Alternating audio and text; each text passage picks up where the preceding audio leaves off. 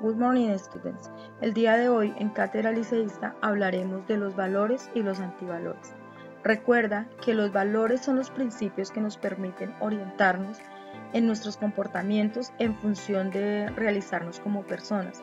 Son las creencias eh, fundamentales que nos ayudan a preferir, a apreciar y a elegir eh, algunas cosas en lugar de otras, como portarnos bien o portarnos mal en nuestra sociedad.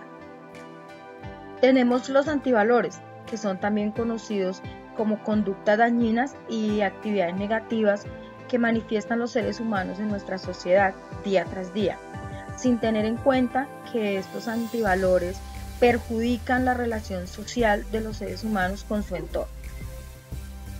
Eh, tengamos en cuenta que los valores son la carta de presentación de nosotros como seres humanos ante la sociedad y ante las personas. Es la carta de presentación que les muestra a las personas cómo hemos sido educados en nuestras casas y todo aquello que nuestros padres nos han inculcado desde la niñez. A continuación vamos a realizar una lista de valores y antivalores, como por ejemplo tenemos eh, valores como la honestidad, Mm, el respeto, la puntualidad, la sabiduría, la fortaleza, la justicia y el perdón. También tenemos antivalores como la ignorancia, el irrespeto, eh, la impuntualidad. Todos estos últimos afectan nuestra sociedad y nuestra relación con ella.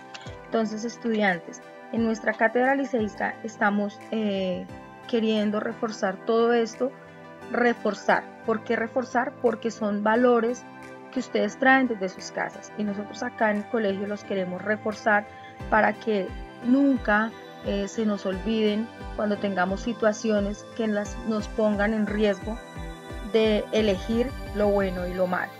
Entonces, en nuestra cátedra liceísta, esto es lo que queremos hacer. espero que haya sido de agrado la charla y que nos veamos en una próxima oportunidad. Bye.